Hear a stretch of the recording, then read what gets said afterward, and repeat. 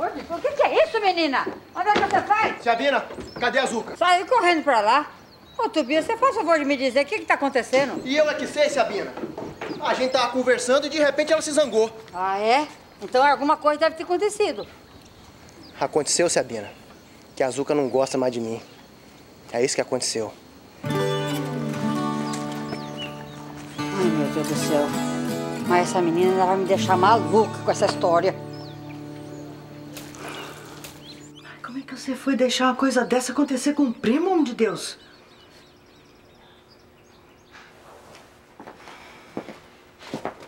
Onde é que você tava que não viu essa briga estourar?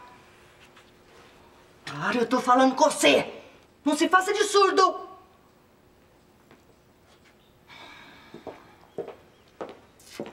Escuta aqui, Bonerja. Você tá passando os limites.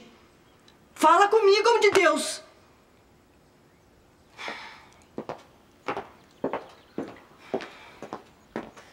Certo. Você tá procurando, você vai encontrar. Pode esperar que eu vou lhe dar o toco.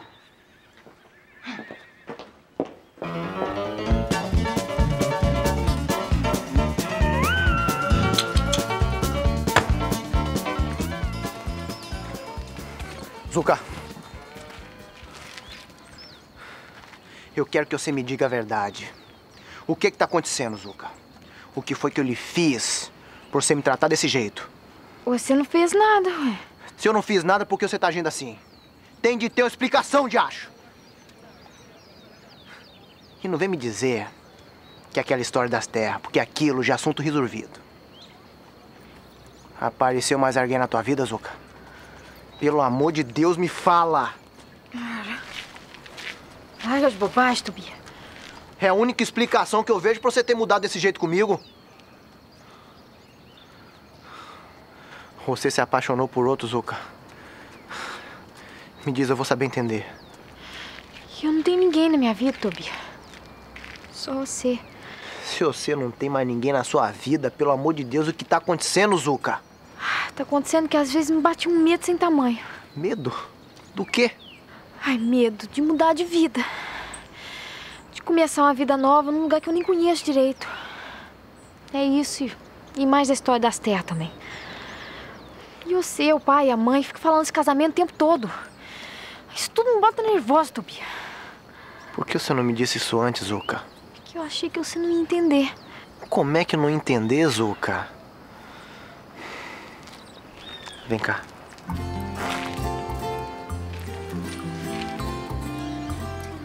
Escuta uma coisa.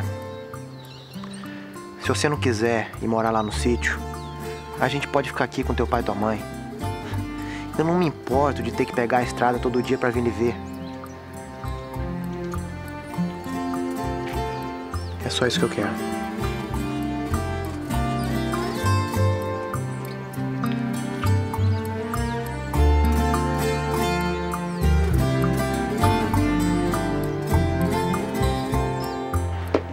Tá pensando em quê? Posso saber? Estava pensando na vida. Na vida ou no vexame dessa manhã? Na vida, Joaquim. Por minha causa, você deixou de vir à retreta. Não tem importância, eu também perdi a vontade. Acho que eu lhe devo desculpas pelo que aprontei hoje lá em Vila da Mata.